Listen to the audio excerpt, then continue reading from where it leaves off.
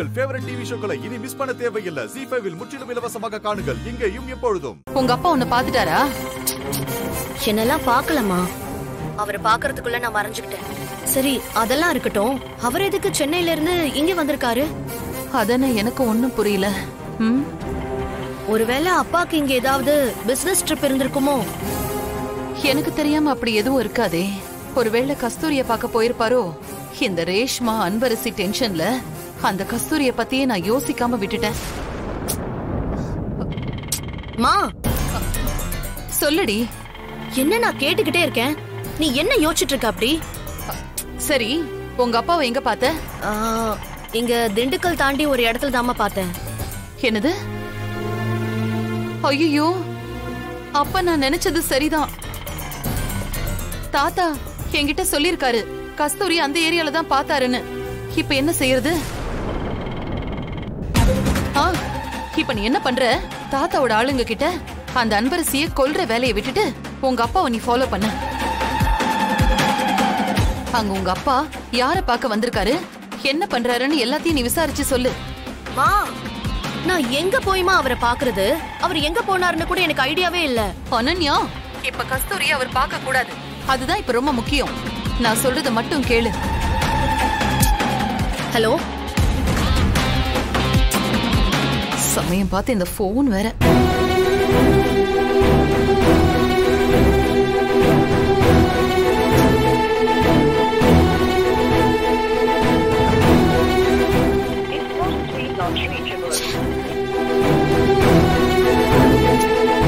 இப்ப நாட் ரீச்சபிள்னு வருதே.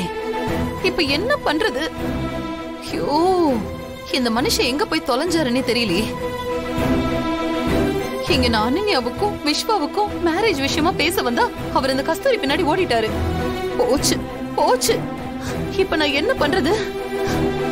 சிவகாமி என்னாச்சு? ஆ, ஆ, இதோ வரேன்.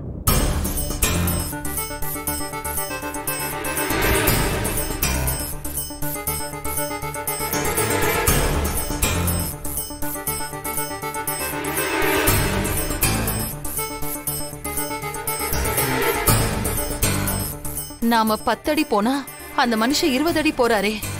இந்த விஷயத்தை எப்படி முடிக்கிறதுனே தெரியலையே.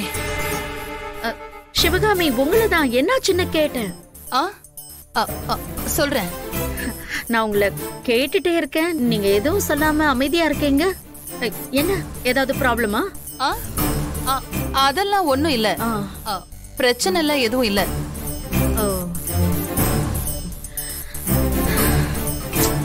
சிவகாமி இப்ப நம்ம பேசிட்டு இருந்தோம்ல? அதுக்கு என்னால இப்ப இம்மீடியட்டா ஒரு பதில் சொல்ல முடியல. எனக்கு கொஞ்சம் டைம் வேணும். தாராளமா எடுத்துக்கோங்க. ஆனா நல்லா யோசிச்சு நல்ல ஒரு முடிவா சொல்லுங்க பத்மா. அப்ப நான் கிளம்புறேன். ஆ இருங்க இருங்க. அதுக்குள்ள கிளம்புறீங்க வீடு வரைக்கும் வந்துட்டு ஏதாவது சாப்பிட்டு போங்க. ஒரு காஃபியாவது சாப்பிட்டு போங்க. இருங்க. சரி. கௌசல்யா? அன்பார்ந்த பெரியோர்களே தாய்மார்களே இப்பொழுது விளையாட்டு போட்டிகள் ஆரம்பிக்கப்பட உள்ளதால் போட்டியில் கலந்து கொள்ள விருப்பமுள்ளவர்கள் அனைவரும் கோவில் மைதானத்திற்கு வருமாறு கோவில் நிர்வாகத்தின் சார்பாக கேட்டுக்கொள்கிறோம். முதலாவதாக லெமன் அண்ட் ஸ்பூன் போட்டி நடைபெறப் போகிறது. இதில் கலந்து கொள்ள விருப்பமுள்ளவர்கள் கோவில் மைதானத்திற்கு விரைவாக வரவும். அன்பரசி நாமளும் போய் கலந்துக்கலாமா? இல்லப்பா நான் வரல. என்னது? விளையாட்டு போட்டி? அதுவும் அன்பரசு இல்லாமையா? ஒத்துக்கவே மாட்டேன். நீ வந்தே ஆகணும். வா. வா அன்பு. நான் வரல மஞ்சு. வா ப்ளீஸ் நான் வரல. ஜாலியா இருக்கும். வா. நீங்களும் கூப்பிடுங்க. ஏய் வா போலாம். சரி கையை விடுங்க. நான் வரேன். சரி வாங்க. சீக்கிரம் வந்துரு. போலாமா? வா. ஆமா அன்பரசி. நான் உங்ககிட்ட ஒன்னு கேட்கணும் கேளுங்க சார். நேத்து காலையில அம்மா உன்னை வீட்டுக்கு வர வச்சு உங்ககிட்ட என்ன கேட்டாங்க?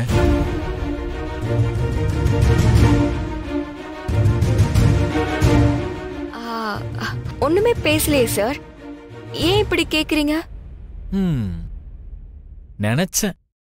நீ இதை தான் சொல்லுவேன்னு நான் அப்பவே நினைச்சேன்.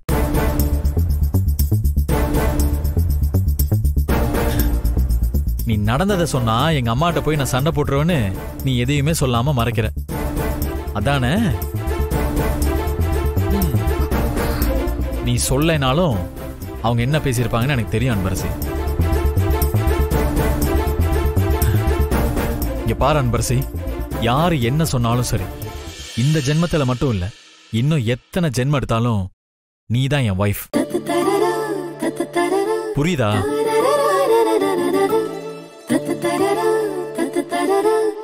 அன்பரசி என்ன அப்படி பாக்குற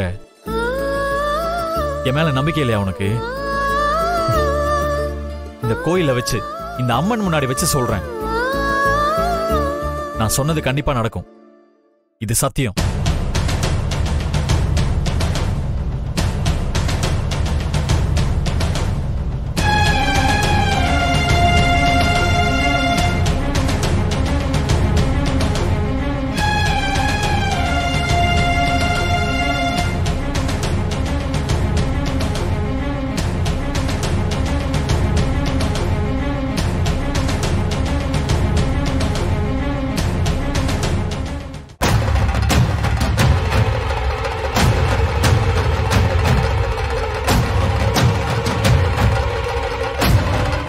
டேய்.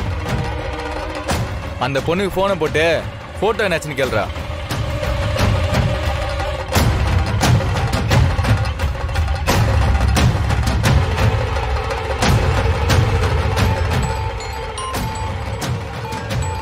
புது நம்பரா இருக்கு?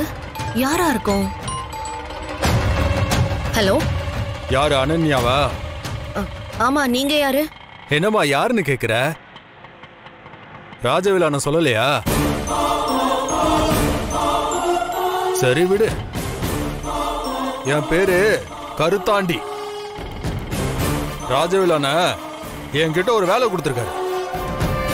நீ அந்த பொண்ணோட போட்டோவையும் அட்ரஸையும் இந்த நம்பருக்கு அனுப்பிடு தாத்தா சொன்ன மாதிரி செம்ம திமிர் புடிச்சவன் தான் போல இருக்கு. இவன் பேசும்போதே தெரியுதே. என்னம்மா பேச்சையே காணோம்? ஆ இதோ இப்ப உடனே அனுப்பி விடுறேன்.